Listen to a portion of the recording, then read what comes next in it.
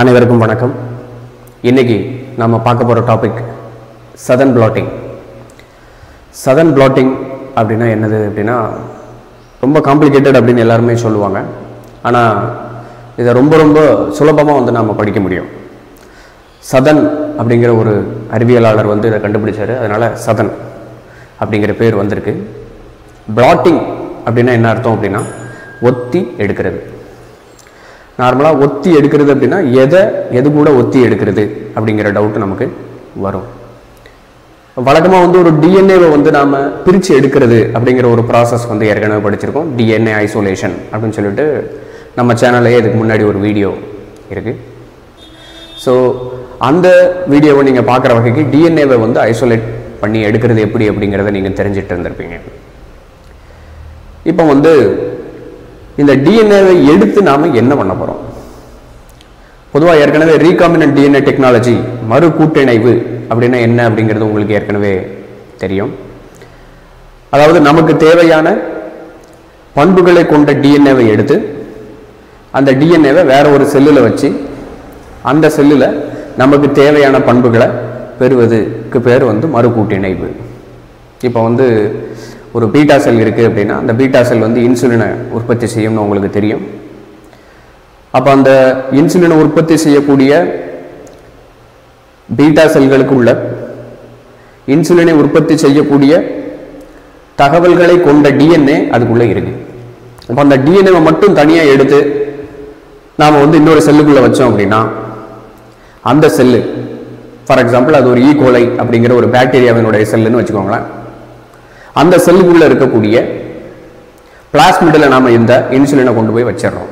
அதாவது இன்சுலினை உருவாக்கக்கூடிய தகவல்களை கொண்ட டிஎன்ஏவை நாம் ஈகோலையினுடைய e. பிளாஸ்மிடில் கொண்டு போய் வச்சா e. ஈகோலை வந்து இன்சுலினை உற்பத்தி செய்யும். இதுதான் வந்து மறு கூட்டிணைவு தொழில்நுட்பம். இந்த மாதிரி எந்த பண்புகளினாலும் எந்த பாக்டீரியத்திலையும் நீங்கள் வந்து பெற்றுக்கொள்ள முடியும். இப்போது இந்த இன்சுலின் உருவாகக்கூடிய உருவாக்கக்கூடிய டிஎன்ஏவை எடுத்து நாம் இன்சுலினுக்குள்ளே வச்சிட்டோம். அதாவது சாரி ஈகோலை பாக்டீரியாக்குள்ள இருக்கிற பிளாஸ்மிடில் வச்சிட்டோம். ஸோ அந்த e. ஈகோலை பிளாஸ்மிடுக்குள்ள நாம் அனுப்பின டிஎன்ஏ இன்சுலினை உருவாக்கக்கூடிய பீட்டா செல்கள்லேருந்து எடுத்த டிஎன்ஏ இருக்கு இல்லையா? அந்த டிஎன்ஏ அங்கே போய் சேர்ந்துருச்சா இல்லையா அப்படிங்கிறத எப்படி நாம் செக் பண்ணுறது அப்படிங்கிறதுக்கு தான் இந்த சதன் பிளாட்டிங் அப்படிங்கிற ஒரு நிகழ்வு. இதில் ஃபஸ்ட்டு நாம் என்ன பண்ணணும் அப்படின்னா e. ஈகோலை பாக்டீரியா இருக்கும். மறு கூட்டிணைவு செய்யப்பட்ட e. ஈகோலை பாக்டீரியாவை நம்ம எடுத்துக்கிறோம்னு வச்சுக்கோங்களேன். இது இந்த விஷயத்துக்கு மட்டும் இல்லை நீங்கள் எந்த ஒரு டிஎன்ஏவை உள்ளே அனுப்புனாலும் அந்த டிஎன்ஏ உள்ளே போய் கரெக்டாக மறு கூட்டிணைவு ஆயிருக்கா இல்லையா அப்படிங்கிறத செக் பண்ணுறதுக்கு தான் இந்த சதன் பிளாட்டிங் இது மட்டும் இல்லாமல் இம்யூன் டிசீஸ் அதாவது நம்ம ஜெனட்டிக் டிசார்டர்ஸ் அப்படின்னு சொல்லுவாங்க. சரியா? ஜெனட்டிக் டிசார்டர்ஸ் அந்த ஜெனட்டிக் டிசார்டர்ஸ் பொறுத்தவரையில் ஜீன்களில் டிஎன்ஏல சில மாறுதல்கள் ஏற்பட்டு சில வியாதிகள் வரும். அப்போ அந்த மாறுதலுக்கு உட்பட்ட டிஎன்ஏ அவங்க உடம்புல இருக்கா இல்லையா? அப்படிங்கிறத கண்டுபிடிக்கிறதுக்கும் இந்த சடன் சதன் பிளாட்டிங் வந்து உதவிகரமாக இருக்கு. இதே மாதிரி நமக்கு தேவையான டிஎன்ஏ அல்லது நமக்கு தேவையில்லாத டிஎன்ஏ ஒரு செல்லுக்குள்ள இருக்கா இல்லையா அப்படிங்கிறத வந்து நாம் தெரிஞ்சுக்கிறதுக்கு உதவக்கூடிய ஒரு விஷயம் தான் இந்த சதன் பிளாட்டிங் அப்படிங்கிற ஒரு டெக்னிக் இதில் ஃபஸ்ட்டு நம்ம என்ன பண்ணுறோம் அப்படின்னா டிஎன்ஏ டைஜஷன் அப்படின்னு ஒரு ப்ராசஸ் டிஎன்ஏ டைஜஷனை இது ஏற்கனவே நல்லா தெரியும் உங்களுக்கு. அதாவது டிஎன்ஏ ஐசோலேஷன் அப்படின்னு சொல்லிட்டு ஒரு தாவரத்திலிருந்து நாம் அதை தனியாக இலைகள்லாம் அரைச்சி என்ன அதிலிருந்து சில மெத்தட் மூலமாக நாம் அதை தனியாக டிஎன்ஏவை பிரித்து எடுத்து வச்சுக்கிறோம். ஸோ அந்த பிரித்து எடுத்த டிஎன்ஏவை நாம் அடுத்து என்ன பண்ணுறோம் அப்படின்னா டிஎன்ஏ ஐசோலேஷன் முடிஞ்சிருச்சு. அதுக்கப்புறம் அதை சின்ன சின்ன பீஸாக கட் பண்ணுறோம் கட் பண்ணுறதுக்கு எந்த என்சைம் உதவி செய்யுது? உங்களுக்கு நல்லாவே தெரியும். ரெஸ்ட்ரிக்ஷன் எண்டோ நியூக்ளியேஸ் அல்லது எக்ஸோ நியூக்ளியேஸ் தமிழில் வந்து தடைக்கட்டு நொதிகள் அப்படின்னு படிச்சிருப்பீங்க. அதை பயன்படுத்தி அதை சின்ன சின்னதாக நாம் சாப்பப் பண்ணிடுறோம். பீஸ் பீஸாக அதை நம்ம வெட்டிடுறோம். இந்த ப்ராசஸ்க்கு பேர் தான் டிஎன்ஏ டைஜஷன் சரியா? ஸோ டிஎன்ஏ டைஜஷன் அப்படிங்கிறது எதன் மூலமாக நடைபெறுகிறது? ரெஸ்ட்ரிக்ஷன் நியூக்ளியேஸ் என்சைம்ஸ் அதாவது தடைக்கட்டு நொதிகள் மூலமாக அது நடைபெறுகிறது. சரி வெட்டியாச்சு இதுக்கு அடுத்து நாம் என்ன பண்ண போகிறோம் அந்த ரெஸ்ட்ரிக்ஷன் என்சைம் என்ன வேலையை செய்யுது அப்படிங்கிறத நாம் இங்கே காமிச்சிருக்கிறோம். ரெஸ்ட்ரிக்ஷன் என்சைம் பொறுத்தவரையில் எந்த இடத்துல தேவையோ அந்த இடத்துல நாம் வந்து கட் பண்ணலாம். ஸோ இந்த மாதிரி நாம் இது ரீகாமினட் டிஎன்ஏல உள்ள ஸ்லைடு பட் இதை வந்து ரெஸ்ட்ரிக்ஷன் என்சைமை காமிக்கிறதுக்காக நான் உங்களுக்காக எடுத்து வச்சிருக்கேன். அதாவது நாம கட் பண்ணி எடுத்துக்கலாம் டிஎன்ஏவை சின்ன சின்னதாக பீஸ் பீஸாக நாம கட் பண்ணி தனியாக வச்சிருவோம். அதான் DNA digestion first step over ரெண்டாவது ஸ்டெப் என்ன அப்படின்னு பார்த்தீங்கன்னாக்கா ஜெல் எலக்ட்ரோஃபோரசிஸ் ஜெல் எலக்ட்ரோஃபோரசிஸ் சம்மந்தமாக தனியாக இன்னொரு கேள்வி நாம டிஸ்கஸ் பண்ண வேண்டியிருக்கு. இருந்தாலும் ஒரு சின்ன ப்ரிலூடு நான் கொடுத்துட்டு இந்த ஜெல் எலக்ட்ரோஃபோரசிஸ்க்கு அப்புறம் என்ன பண்ணலாம் அப்படிங்கிறத நான் யோசி சொல்கிறேன் இதில் ஃபஸ்ட்டு வந்து நீங்கள் பிரித்து வச்ச டிஎன்ஏ எல்லாம் இருக்குல்ல அந்த பிரித்து வச்ச டிஎன்ஏ எல்லாத்தையுமே அகாராஸ் ஜெல் அப்படிங்கிறதுல நீங்கள் வந்து லோடு பண்ணுறீங்க எலக்ட்ரோஃபோரசிஸ் அப்படின்னா என்னன்னு தெரியும் உங்களுக்கு? அகாரஸ் ஜெல் அப்படிங்கிற ஒரு ஜெல்லை வந்து ப்ரிப்பேர் பண்ணுறோம் அகாரஸ் ஜெல்னா என்னன்னு உங்களுக்கு நல்லாவே தெரியும். ஆல்கேல இருந்து தயாரிக்கப்படக்கூடிய ஒரு அகார் அப்படிங்கிற ஒரு பொருளை வச்சு நாம் வந்து ஜெல் அப்படிங்கிற ஒரு விஷயத்தை தயாரித்து அந்த ஜெல்லில் மேலே ஒரு நாளோ சின்னதாக ஒரு வெல் அப்படின்னு சொல்லுவாங்க. அதுக்கு பேர் சின்ன சின்ன ஓட்டைகள். நம்ம போட்டு அதுக்குள்ளே நம்ம டிஎன்ஏ பிரித்து வச்சுருக்கோம் இல்லையா? சின்ன சின்னதாக வெட்டி வச்சுருக்கோம் இல்லையா? அதில் ஒவ்வொன்றுத்துலையும் கொஞ்சம் கொஞ்சம் அப்படியே ஊற்றி வேண்டியது. எதுக்கு இது ஊற்றுறோம் இப்போ அந்த ஜெல்லை வந்து நாம் ஒரு பஃபருக்குள்ளே வைக்கிறோம். அந்த பஃபர் வந்து பார்த்திங்க அப்படின்னாக்கா இன்னும் நிறைய பொருட்களை வச்சு நம்ம பண்ணலாம். இடிடிஏ இந்த மாதிரி நிறைய பஃபர்ஸ் இருக்குது அந்த பஃபருக்குள்ளே நாம் அழகாக இம்மர்ஸ் பண்ணி வச்சிடணும். அதாவது அந்த பஃபருக்குள்ளே அதை முக்கிடணும் ஜெல்லை டிஎன்ஏ அங்கே லோட் பண்ணியிருக்கீங்க பஃபருக்குள்ளே முக்கியிருக்கீங்க. இந்த பஃபரனுடைய இடது பக்கம் வலது பக்கம் இந்த பக்கம் வந்து பார்த்தீங்க அப்படின்னாக்கா கேத்தோடு இருக்கும். இந்த சைடு ஆனோடு இருக்கும். கேத்தோடு அப்படிங்கிறது நெகட்டிவ்லி சார்ஜ்டு ஆனோடு அப்படிங்கிறது பாசிட்டிவ்லி சார்ஜ்டு டிஎன்ஏ அப்படிங்கிறது வந்து நெகட்டிவ்லி சார்ஜ் அப்படிங்கிற உங்களுக்கு நல்லாவே தெரியும். அப்போ அது பாசிட்டிவ் நோக்கி மூவ் ஆகும். அப்போ நீங்கள் ஆனோடு அப்படிங்கிற ஒரு சைடு இங்கே இருக்கு. அந்த சைடை நோக்கி இருக்கிற டிஎன்ஏ எல்லாமே சரசரன்னு மூவ் ஆகும். அந்த படத்தை தான் இங்கே நீங்கள் பார்க்குறீங்க இந்த சைடு ஆனோடு இந்த சைடு கேத்தோடு இது வந்து ஜெல் இது ஃபுல்லாக ஜெல்லினுடைய பிளாக்கு இதில் வெல் இங்கே இருக்குது இந்த வெல்லில் நாம் வந்து டிஎன்ஏவை ஊற்றி வச்சிருக்கிறோம். ஊற்றி வச்சு அந்த டிஎன்ஏவினுடைய நீளத்தை அடிப்படையாக கொண்டு as per the length of the DNA the DNA will be segregated towards the anode that is positively charged area ரைட்டா ஸோ பாசிட்டிவ்லி சார்ஜ்டு ஏரியாவை நோக்கி இந்த இது டிஎன்ஏவினுடைய செக்மெண்ட்ஸ் எல்லாம் மூவ் ஆகி போய்கிட்டு இருக்கு.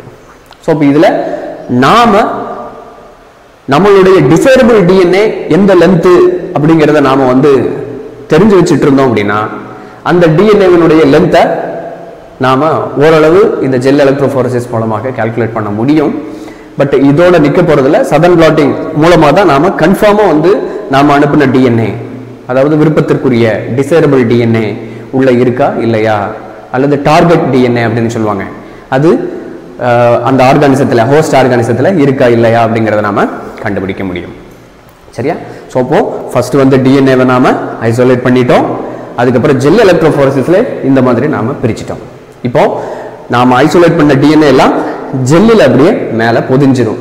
ரைட்டா இப்போ அந்த ஜெல்லை அப்படியே நாம் எடுத்து என்ன பண்ண போகிறோம் அப்படிங்கிறத தான் அடுத்து நாம் பார்க்க போகிறோம் that is the next step Southern blotting இந்த சதன் பிளாட்டிங் அப்படிங்கிறத கண்டுபிடிச்சவர் வந்து எட்வின் சதன் அப்படிங்கிற ஒரு ஒருத்தர் நைன்டீன் செவன்டி ஃபைவ்ல கண்டுபிடிச்சிருக்கிறாரு. அவர் ஜெல் எலக்ட்ரோஃபோரஸஸ்க்கு அப்புறம் இந்த ப்ராசஸை ஸ்டார்ட் பண்ணுறாரு எப்படி அப்படின்னு பார்த்தீங்கன்னா நல்லா கவனிக்கணும். ரொம்ப ரொம்ப சிம்பிளான விஷயம்தான். ஃபர்ஸ்ட் ஆஃப் ஆல் ஒரு சின்ன ட்ரே நார்மலாக நம்ம பயன்படுத்தக்கூடிய பிளாஸ்டிக் ட்ரே இருக்குல்ல அதான். சரியா?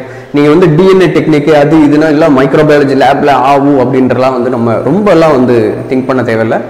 பட் இது வந்து மைக்ரோபயாலஜி லேபில் தான் பண்ணுறாங்க ஆனால் it is very very very very simple ரொம்ப ரொம்ப எளிதான ஒரு விஷயமாக இதை நீங்கள் கருதிக்கோங்க. அப்போ தான் ஈஸியாக உங்களுக்கு புரியும். சரிங்களா? ஸோ இப்போ சாதாரண ஒரு ட்ரே அந்த ட்ரேக்குள்ள ஒரு பஃபர் எடுக்கிறாங்க. இந்த இடத்துல பஃபர் அப்படிங்கிறது வந்து என்ன அப்படின்னாக்கா சோடியம் சலைன் அப்படின்னு சொல்லிட்டு ஒரு சலைன் சொல்யூஷன் இருக்குது அதுதான் வந்து இந்த இடத்துல நாம் பயன்படுத்துகிறோம் சரிங்களா? பஃபராக பயன்படுத்துகிறோம் இந்த பஃபரில் சாதாரண ஸ்பாஞ்சி. இந்த சதுரம் இருக்குது பார்த்தீங்களா இந்த சதுரம் வந்து சாதாரண ஸ்பாஞ்சு. அது செவ்வகம் அது. சாதாரண ஸ்பாஞ்ச் அதுக்குள்ளே வைக்கிறோம். வச்சா என்ன ஆகும் இந்த பஃபரை ஃபுல்லாக அந்த ஸ்பாஞ்சு வந்து உறிஞ்சிடும் சரியா? இப்போ இந்த ஸ்பாஞ்சு மேலே நீங்கள் என்ன வைக்கிறீங்க அப்படின்னாக்கா இந்த வாட்மேன் ஃபில்டர் பேப்பரை வைக்கிறீங்க. ஸோ அந்த ஸ்பாஞ்சுக்கு மேலே நீங்கள் வைக்கிறது என்ன அப்படின்னு பார்த்தீங்கன்னா சாதாரண ஃபில்டர் பேப்பரை வச்சுருங்க that is Whatman filter paper அந்த waterman fill Whatman filter paper அப்படிங்கிறது வந்து உங்களுடைய லேபரேட்டரியில் சாதாரணமாக நீங்கள் பார்த்துருப்பீங்க. சரியா? அதுக்கு மேலே நீங்கள் ஏற்கனவே எடுத்து வச்சுருக்கீங்களா ஜெல்லு. அந்த ஜெல்லு அதை அப்படியே நீங்கள் மேலே தூக்கி வச்சிடுறீங்க. அந்த ஜெல்லில் என்ன இருக்குது உங்களுக்கு தேவையான தேவையில்லாத ஸோ எல்லா டிஎன்ஏவும் அந்த செல்லுல இருந்து நீங்கள் ஐசோலேட் பண்ணின டிஎன்ஏ அத்தனையும் அந்த ஜெல்லில் பொதிஞ்சு கிடக்கு அப்படின்னு நம்ம படிச்சிருக்கோம் இல்லையா? ஸோ அந்த ஜெல்லில் அது அப்படியே ஸ்ப்ரெட் ஆகி நிற்கும் அதை கொண்டு வந்து அப்படியே இந்த இடத்துல வச்சிருக்கீங்க இந்த வயலட் கலரில் இருக்கு பார்த்தீங்களா? இது.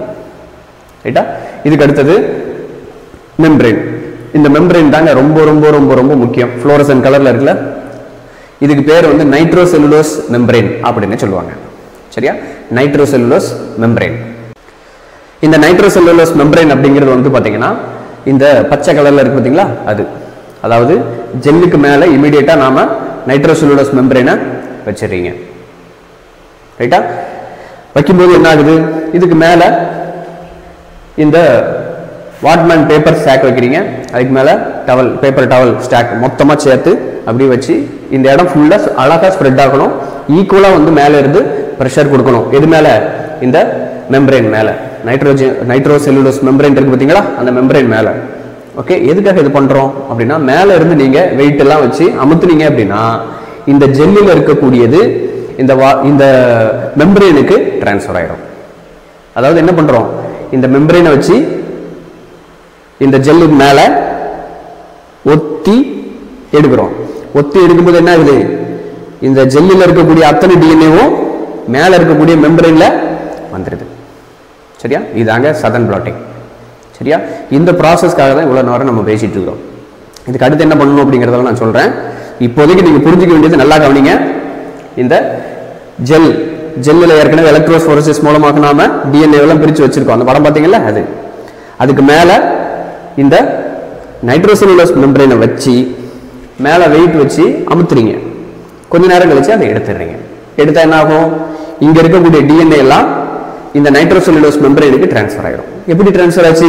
இந்த இடத்துல இருக்கக்கூடிய பஃபர் வந்து இது வழியாக உறிஞ்சப்பட்டு இந்த ஜெல் மூலமாக உறிஞ்சப்பட்டு இங்கே இருக்கிற டிஎன்ஏவை அப்படியே மேலே தூக்கிட்டு போய் இந்த மெம்பரேனில் ஒட்ட வச்சிடும் நைட்ரோசெல்லுலோஸ் மெம்பரேனில் ஒட்ட வச்சிடும் இதுதான் கான்செப்ட் சரியா? சரி நைட்ரோசெல்லுலோஸ் மெம்பரேனில் ஒட்டினதுக்கப்புறம் என்ன ஆகும்? பார்க்கலாமா? ஸோ இதுதான் சதன் பிளாட்டிங் சதன் பிளாட்டிங் பொறுத்தவரை ரொம்ப கிளியராக இருங்க. இந்த ஜெல்லில் இருக்கக்கூடியதை மெம்பரேனுக்கு டிரான்ஸ்ஃபர் பண்ணக்கூடிய வேலை. அதுக்கு பஃபர் ஹெல்ப் பண்ணுது. அதுக்கு தான் இந்த பெரிய ப்ராசஸ் இந்த வெயிட் பொறுத்தவரையில் ஒரு அரை கிலோ வரைக்கும் நீங்கள் வைக்கலாம். ஐநூறு கிராம் வரைக்கும் இந்த இடத்துல நீங்கள் வெயிட் வச்சு அழகாக இதை வெயிட் அதுக்கு மேலே கூடிடக்கூடாது. ஸோ இந்த இடத்துல பஃபர் இருக்கிறதுனால இது வந்து டிஃப்யூஷன் ஆகி அதாவது பரவல் முறை மூலமாக கேபிலரி ஃபோர்ஸ் எந்த ஃபோர்ஸ்னால சொல்லிக்கலாம். மேலே வந்து டிஎன்ஏவை கொண்டு வந்துடும் மெம்பரேனுக்கு கொண்டு வந்துடும் சரிங்களா? ஸோ இதுதான் சதன் பிளாட்டிங் ஸோ இந்த சதன் பிளாட்டிங்கில் நீங்கள் நைட்ரோசெல்லுலஸ் மெம்பரேனில் உங்களுக்கு தேவையான டிஎன்ஏவை எடுத்துடுறீங்க. இதுதான் வந்து நைட்ரோசிலோடஸ் மெம்பரேன் இந்த ஷீட்ஸ் வந்து சர்ஜிக்கல்ஸ் கடையில் உங்களுக்கு கிடைக்கும்.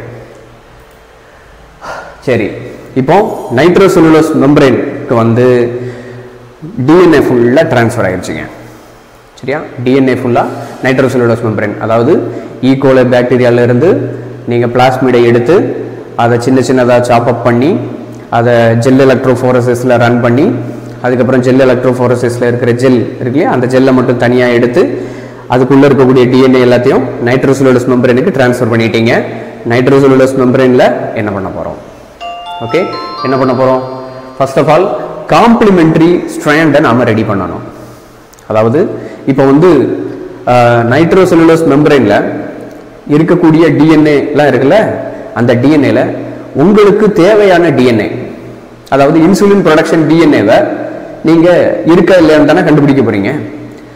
அப்போ அந்த இன்சுலின் ப்ரொடியூசிங் டிஎன்ஏவனுடைய சீக்வன்ஸ் என்னன்னு உங்களுக்கு நல்லா தெரியும் இல்லையா? அந்த சீக்வன்ஸ் என்னது? கோடான் ஓகே ஐம்பத்தோரு அமினோ ஆசிட் உண்டான கோடான் ஐம்பத்தோரு அமினோ ஆசிட் எங்கிருந்து சார் வந்துச்சு? அதாவது இன்சுலின் வந்து உருவாவதற்கு ஐம்பத்தோரு அமினோ அமிலங்கள் தேவை. அப்போ அந்த ஐம்பத்தோரு அமினோ அமிலங்களுக்கு தேவையான கோடான் என்னென்ன அப்படிங்கிறது உங்களுக்கு நல்லா தெரியும்ல? ஸோ அப்போ அந்த கோடான் என்ன அப்படிங்கிறது அந்த கோடான் தான் உள்ள இருக்கு. அப்போ அதுக்கு காம்ப்ளிமெண்ட்ரியான கோடான நீங்கள் தனியாக வெளியே எடுத்து வச்சுக்கிடணும். சரியா? காம்ப்ளிமெண்ட்ரியான காம்ப்ளிமெண்ட்ரி கோடான நீங்கள் வெளியில் எடுத்து வச்சுக்கணும். இப்போ இன்சுலின் ப்ரொடக்ஷன் டிஎன்ஏவை தான் நீங்கள் கண்டுபிடிக்க போறீங்க அப்படின்னா இன்சுலின் ப்ரொடியூஸ் பண்ணக்கூடிய டிஎன்ஏவினுடைய கோடான் என்ன அப்படிங்கிறது உங்களுக்கு தெரியும். அதுக்கு உண்டான காம்ப்ளிமெண்ட்ரி கோடான நீங்கள் தனியாக வெளியே எடுத்து வச்சுக்கிடணும். அதுக்கு பேர் தான் ப்ரோப் சரியா? ப்ரோப் அப்படின்றது என்னது?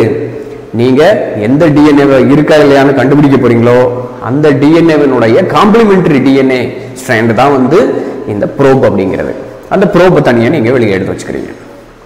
இப்போ அடுத்து என்ன பண்ணுறோம் அதை ஹைப்ரிடைஸ் பண்ணுறோம் ஓகே இது எதுக்கு நான் போட்டிருக்கேன்?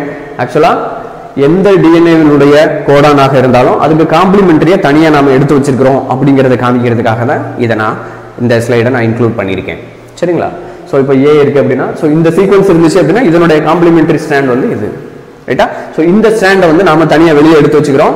இந்த ஸ்டாண்டை நீங்கள் வந்து ஹைபிரிடைசேஷன் பண்ண போறீங்க. இது கூட இப்போ வந்து பார்த்தீங்கன்னா நம்ம இன்சுலின் ப்ரொடியூசிங் டிஎன்ஏ இருக்கு அப்படின்னாக்கா அந்த அதுக்கு உண்டான காம்ப்ளிமெண்டரி ஸ்டாண்டை வெளியில் எடுத்து வச்சிருங்க. அந்த ப்ரோப் வந்து நீங்க தனியாக வெளியே எடுத்து வச்சுக்கணும். இப்போ அந்த ப்ரோப் வந்து நைட்ரோசெல்லுலஸ் மெம்பரேன் கூட நீங்க சேர்க்க போறீங்க. ஃபார் எக்ஸாம்பிள் இப்போ இதுதான் நைட்ரோசெல்லுலஸ் மெம்பரேன் வச்சுக்கோங்களேன். ஆ. இதான் நைட்ரோசெல்லுலஸ் மெம்பரேன் இது ஆக்சுவலி ஜெல் தான். ஜெல் எலக்ட்ரோஃபோரசிஸில் நான் யூஸ் பண்ணது. இதில் நைட்ரோசெல்லுலஸ் மெம்பரேன் இந்த இடத்துல உங்களுக்கு வந்து டிஎன்ஏ ஸ்டாண்டெல்லாம் இப்படி பிரிஞ்சு கிடக்கு அப்படின்னு வச்சுக்கோங்களேன். இப்போ உங்களுக்கு தேவையான டிஎன்ஏ வந்து இதுதான் அப்படின்னு வச்சுக்கோங்க. இதுதான் இன்சுலின் ப்ரொடியூசிங் டிஎன்ஏ நமக்கு தெரியாது. இது பூராத்தையும் ஃபர்ஸ்ட் நம்ம என்ன பண்ணுறோம் அப்படின்னா சிங்கிள் ஸ்டாண்டர்டாக நம்ம மாற்ற போகிறோம் ரைட்டா நைட்ரோசெல்லுலஸ் மெம்பரேனுக்குள்ள இருக்கக்கூடிய டிஎன்ஏ எல்லாம் டபுள் ஸ்டாண்டர்டாக மாறி இருக்கும் ஜென்னிலஸ் டபுள் ஸ்டாண்டர்டாக இருந்துச்சு அப்படின்னா நைட்ரோசெல்லுலஸ் ஒத்தி எடுக்கும்போது நைட்ரோசெல்லுலஸ்லயும் டபுள் ஸ்டாண்டர்ட் தான் இருக்கும். அப்போ அந்த நைட்ரோசெல்லுலஸ் மெம்பரேனில் இருக்கக்கூடிய டபுள் ஸ்டாண்டர்ட் டிஎன்ஏவை பூரா நாம சிங்கிள் ஸ்டாண்டர்டாக மாத்தணும். ஃபர்ஸ்ட் சரிங்களா? ப்ரோப் தனியா வெளியே எடுத்து வச்சிருக்கீங்க அது வேற விஷயம். அந்த ப்ரோபை ஹைபிரிடைஸ் பண்றதுக்கு நீங்க என்ன பண்ண போறீங்க அப்படிங்கறத நான் சொல்லிட்டு இருக்கேன். சரியா? ஸோ அப்போ அந்த ப்ரோப்பை வந்து நீங்க உள்ள சேர்க்கணும் அப்படின்னா டபுள் ஸ்டாண்டர்டை பூரா சிங்கிள் ஸ்டாண்டர்டாக மாற்றணும் சரியா? சிங்கிள் ஸ்டாண்டர்டை மாத்துறதுக்கு சில என்சைம்ஸ் இருக்கு. அந்த என்சைம்ஸை போட்டு எடுத்தீங்க அப்படின்னாக்கா நைட்ரோசெல்லுலோஸ்ல இருக்கக்கூடிய டபுள் ஸ்டாண்டர்ட் டிஎன்ஏ எல்லாமே சிங்கிள் ஸ்டாண்டர்டாக மாற்றப்படும். இப்போ நீங்க அந்த ப்ரோபு உள்ள அனுப்புறீங்க. நீங்க அனுப்பின ப்ரோபு நைட்ரோசெல்லுலோஸ் மெம்பரேன்ல எந்த இடத்துல சேரும் அப்படிங்கிறது நமக்கு தெரியாது. ஓகேங்களா எந்த இடத்துல சேரும் அப்படிங்கிறது நமக்கு தெரியாது. இதுக்கு பேர் தான் ஹைபிரிடைசேஷன் கலப்பொருத்தம் அப்படின்னு சொல்லுவாங்க. சரியா? ஸோ டிஎன்ஏ ஹைபிரிடைசேஷன் இந்த இடத்துல சதன் பிளாட்டிங்ல டிஎன்ஏ ஹைபிரிடைசேஷன் ஒரு ஸ்டெப் இருக்கு. சதன் பிளாட்டிங் முடிஞ்சதுக்கு அப்புறம் ப்ரோபை கண்டுபிடிச்சு அந்த ப்ரோபை டிஎன்ஏ கூட ஹைபிரிடைசைஸ் பண்ணணும். அப்படி ஹைபிரிடைஸ் பண்ணதுக்கு அப்புறம் அது இருக்கா இல்லையா அப்படிங்கறத கண்டுபிடிக்கிறதுக்கு பேர் தான் டிடெக்ஷன் அப்படின்னு நம்ம சொல்றோம். அதுதான் இது. நீங்க அனுப்பின ப்ரோப் வந்து உங்களுடைய டிசைரபிள் டிஎன்ஏ அங்க இருந்துச்சு அப்படின்னா இன்சுலின் ப்ரொடியூசிங் டிஎன்ஏ அங்க இருந்துச்சு அப்படின்னா நீங்க அனுப்பின காம்ப்ளிமெண்டரி டிஎன்ஏ கரெக்டா அது கூட போய் ஒட்ட தான் செய்யணும் டிஎன்ஏ லைகேஷன் ஆக வேண்டும். அப்போ அது ஒட்டி இருக்கா இல்லையான்னு கண்டுபிடிக்கிறதுக்காக தான் இந்த மூணு டெக்னிக்கை நாம் பயன்படுத்துகிறோம் சரியா? என்ன அப்படின்னு பார்த்தீங்கன்னா ஃபஸ்ட்டு ஆட்டோ ரேடியோகிராஃபி இது நீங்கள் கேள்விப்பட்டிருப்பீங்க. நீங்கள் அனுப்பின காம்ப்ளிமெண்டரி ஸ்டாண்ட் இருக்கு இல்லையா? வெளியே எடுத்து வச்சிருக்கேன்னு சொன்னால ப்ரோப் அதுக்குள்ளே இருக்கக்கூடிய பாஸ்பேட்டை பூரா நம்ம பி தேர்ட்டி டூ அப்படிங்கிற ஒரு ரேடியோக்டிவ் ஐசோடோப் வச்சு மார்க் பண்ணுறோம் மார்க் பண்ணி உள்ளே அனுப்புனீங்க அப்படின்னா அது எந்த இடத்துல போய் சேருது அப்படிங்கிறத நீங்கள் கண்டுபிடிச்சிட முடியும் பை ரேடியேஷன் டெக்னிக் ரைட்டா ஸோ அப்போ நீங்கள் அனுப்பின டிஎன்ஏ உள்ள இருக்கு அப்படிங்கிறது கன்ஃபார்ம் அப்போ ரீகாமினல் டிஎன்ஏ டெக்னாலஜி நீங்கள் பண்ணின விஷயம் சக்சஸ்ஃபுல் அப்படின்னு அந்த இடத்துல நாம் ஒரு கன்க்ளூஷனுக்கு வர முடியும். ரைட்டா அதே போல் எக்ஸ்ரே ஃபிலிம் இப்போ இந்த நைட்ரோசெல்லுலோஸ்ல இருந்து நீங்கள் ப்ரோப் அனுப்பி உள்ள ஹைப்ரிடைஸ் ஆகிடுச்சு எக்ஸ்ரே ஃபிலிம் வச்சு அடிச்சு அந்த சைடு எக்ஸ்ரே ஃபிலிம் வந்து எக்ஸ்ரே அடித்து அந்த சைடு ஃபிலிம் வச்சு நீங்கள் எடுத்து பார்க்கும்போது அந்த ஃபிலிமை டெவலப் பண்ணி பார்க்கும்பொழுது உங்களுக்கு அந்த இடத்துல நீங்கள் அனுப்பின ப்ரோப்பு ஹைப்ரிடைஸ் ஆகியிருக்கா இல்லையா அப்படிங்கிறத நாம் பார்க்க முடியும். அதே போல கெமிலூமினசன்ஸ் சில கெமிக்கல்ஸ் இருக்கு. அந்த கெமிக்கல்ஸ் வச்சு நாம கலர் கொடுத்து நீங்க அனுப்பலாம் அந்த ப்ரோபை அந்த கலர் வந்து எக்ஸாக்டா இன்சுலின் ப்ரொடியூசிங் டிஎன்ஏ கூட ஜாயின் ஆகி அந்த இடத்துல மட்டும் குளோ ஆகிட்டு இருக்கும் பர்டிகுலர் கலரில் நீங்கள் நைட்ரோசெல்லுலஸ் மெம்பரின்ல அதை கண்டுபிடிச்சிடலாம். சரிங்களா? ஸோ இப்போ சதன் பிளாட்டிங் அப்படிங்கிறது வந்து என்ன அப்படின்னா நீங்கள் ஒரு டிசைரபிள் கேரக்டரை அனுப்புறீங்க. அந்த டிசைரபிள் கேரக்டரை உள்ள ஜாயின் ஆயிருக்கா இல்லையா? அப்படிங்கிறத கண்டுபிடிக்கிறதுக்கு. அதாவது உங்களுடைய ரீகாமினன்ட் டிஎன்ஏ டெக்னாலஜி சக்சஸ்ஃபுல்லாக முடிஞ்சிருக்கா இல்லையா அப்படிங்கிறத கண்டுபிடிக்கிறதுக்கு உண்டான டெக்னிக் தான் இந்த சதன் பிளாட்டிங் அப்படிங்கிற டெக்னிக் மேலும் பல விவரங்களை தெரிவித்துக் கொள்ள நீட் பயாலஜி தமிழ்நடை சேனலை சப்ஸ்கிரைப் பண்ணுங்க. எங்களுடன் இணைந்திருங்கள். குறைகளை எங்களிடத்தில் சொல்லுங்கள். நிறைகளை நண்பர்களிடத்தில் சொல்லுங்கள். நன்றி வணக்கம்.